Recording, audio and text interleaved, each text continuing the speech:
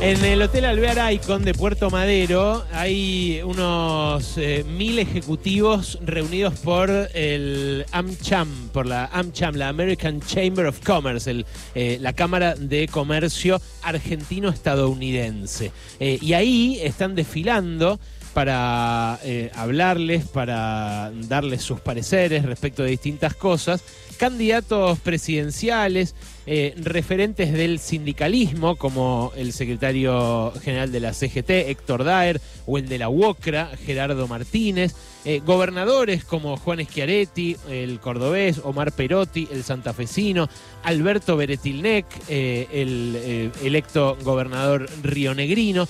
Va a cerrar eh, sobre la tarde, sobre el atardecer, Sergio Massa eh, como ministro de Economía, pero obviamente mm, va a haber referentes de la oposición. Estuvo Horacio Rodríguez Larreta, eh, Patricia Bullrich está también entre los convidados.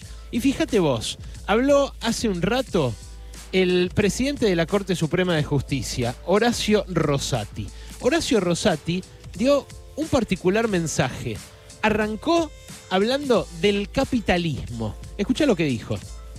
Nuestro sistema es el sistema capitalista y si se quiere otro sistema hay que reformar la Constitución. Y la Constitución se tiene que reformar por el mecanismo que el artículo 30 de la propia Carta Fundamental establece. Si no estamos hablando de otro país, estamos hablando de otra realidad. De paso digo, en el artículo 75, inciso 19, la Constitución manda defender el valor de la moneda lo cual tiene que llamarnos la atención respecto de la expansión incontrolada de la emisión monetaria, porque eso implica no defender el valor de la moneda y traicionar consecuentemente el mandato de la Constitución.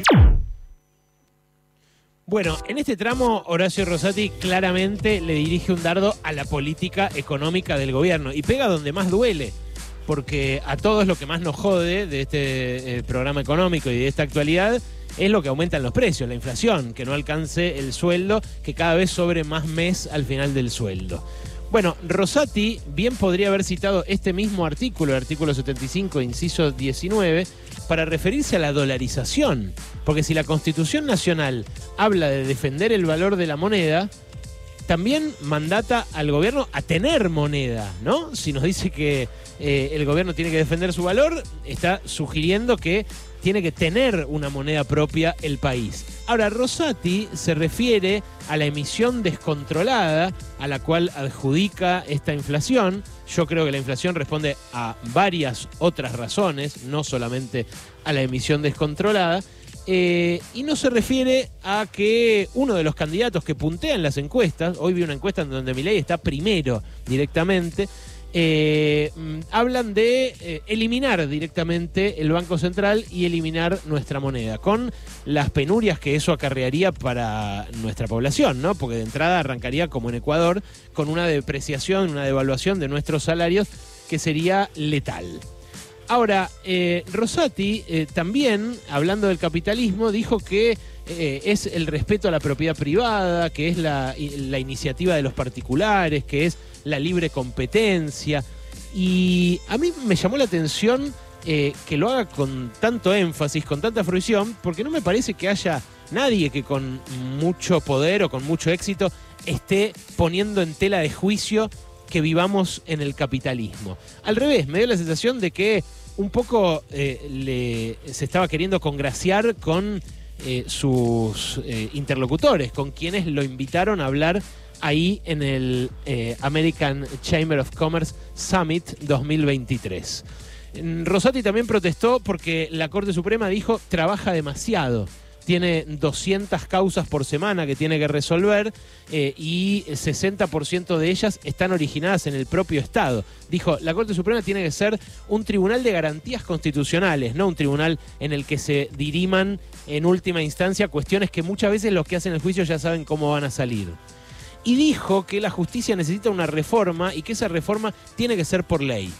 Todas cosas con las cuales yo puedo coincidir, la verdad, tanto en que la eh, justicia necesita una reforma, eh, en que eh, quizás trabaja de modo ineficiente y que debería trabajar de otra manera, pero ¿es ese el lugar? ¿Es el, el AmCham Summit el lugar para que el jefe de uno de los poderes del Estado plantee sus autocríticas eh, y las necesidades de reforma que debería debatir con los otros dos poderes de la República? Digo porque quizás podría haberlo hecho en Granburg, donde anoche, después de la medianoche, eh, podría haber muerto Claudio Russo, un chofer de Bondi que estaba manejando eh, el ramal 1 de la línea 440 y le gatillaron tres veces en la cabeza un pistolón para chorearle lo que tenía. Después le terminaron dando un culatazo en la cabeza que le costó seis puntos de sutura.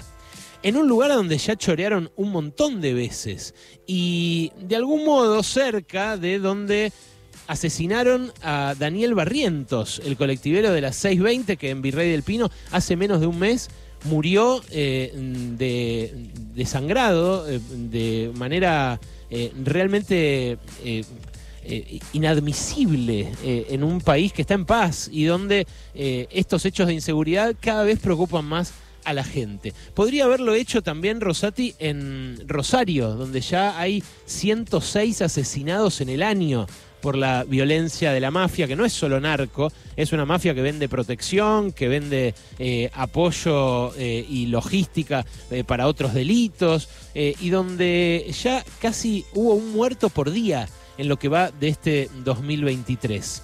Ahora, los jueces, la verdad, eh, hace tiempo que vienen eh, dejando bastante que desear en su gestión. Y no lo digo solamente porque sean el poder menos democrático de los tres de la democracia, el que eh, mantiene sus cargos de por vida, el que tiene las vacaciones más largas, el privilegio de no pagar impuestos a las ganancias, el que no rinde cuentas por nada, porque aunque labure mal, sigue ahí, a diferencia de lo que puede pasar con un legislador o con un presidente o presidenta o con un gobernador o gobernador. Bueno, los jueces, además de haber impartido mal justicia eh, y de eh, no habernos garantizado la seguridad que está entre las funciones que se supone eh, que tienen que llevar adelante en una democracia, los jueces se han intentado meter en política y lo hacen cada vez más. Y ahí es donde empieza a jugar, ahora que estamos acá en la Feria del Libro, el Consejo del Viejo Vizcacha eh, a Martín Fierro, aquel acete amigo del juez. Eh, no le des de qué quejarse, que siempre es bueno tener un palenque ande a rascarse. La política, cuando fracasa en darnos seguridad, en cuidar el valor de nuestra moneda, eh, en construir un país con oportunidades para nuestros hijos, va y toca la puerta de los tribunales, así como antes tocaba la puerta de los cuarteles. Y en cambio, en cambio, cuando la política le reclama a la justicia que investigue, y la justicia en medio que se hace la sonza. Digo porque eh, a vos te puede gustar o no eh, la vicepresidenta, te puede gustar o no Cristina como figura política. Eh, y de hecho a mí, por ejemplo, cuando habló del capitalismo la última vez en La Plata, no me gustó para nada lo que dijo, eso de eh, ya no se puede discutir, eh, es el modo más eficiente de producción de bienes y servicios. ¿Qué sé yo? Sí, es el modo, fue el modo más eficiente durante 200 años, pero está haciendo que ahora nuestro planeta esté en peligro de desaparecer y que nuestra especie, la especie humana, esté en peligro de extinción.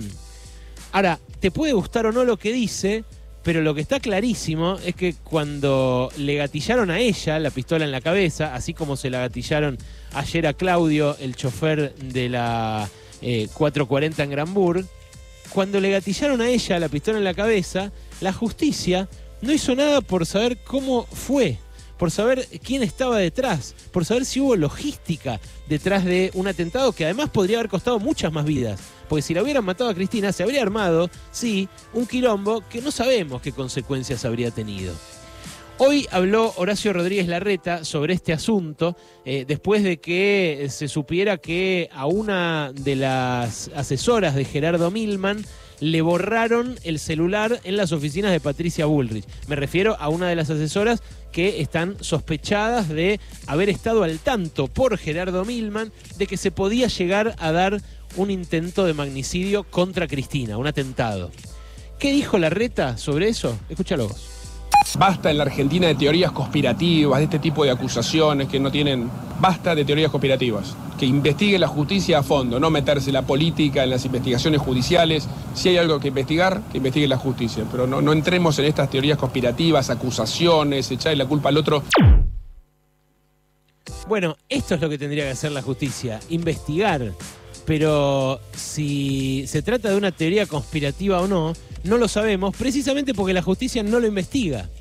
Ahora, ¿es cierto que la política de ese lado no se metió en cuestiones judiciales, que dejó investigar simplemente a la justicia? Bueno, yo les puedo contar sobre un caso, que es el de las autopistas del Curro. Yo presenté ante la opinión pública un montón de pruebas de que los ex socios de Macri en autopistas del Sol, eh, en la Panamericana, y en autopistas del Oeste, recibieron una dádiva del ministro de Transporte de Macri, que era Guillermo Dietrich, que fue extenderle sin licitación el contrato hasta 2030. Y si rigiera ese contrato que Guillermo Dietrich les habilitó a los ex socios de Macri, hoy estaríamos pagando 1.500 mangos el peaje en la Panamericana. Claro, eh, eso que se convirtió en una causa judicial quedó en la nada porque hay algunos que se hicieron amigos del juez para que esas causas no avanzaran. Entonces ahora, en caso de que vuelva sea Larreta, sea Bullrich, eh, sea el que sea, puede llegar a volver Guillermo Dietrich a tener eh, una palabra decisiva en este tema y puede volver a regir ese acuerdo por el cual Florentino Pérez, el dueño del Real Madrid, uno de los tipos más ricos de España, nos puede cobrar a nosotros 1.200 o 1.500 pesos el peaje. A veces es solamente cuestión de hacerse amigo del juez, sobre todo cuando querés rascarte. Pasaron cosas. Cosas. Hasta las 16 con Alejandro Berkovich.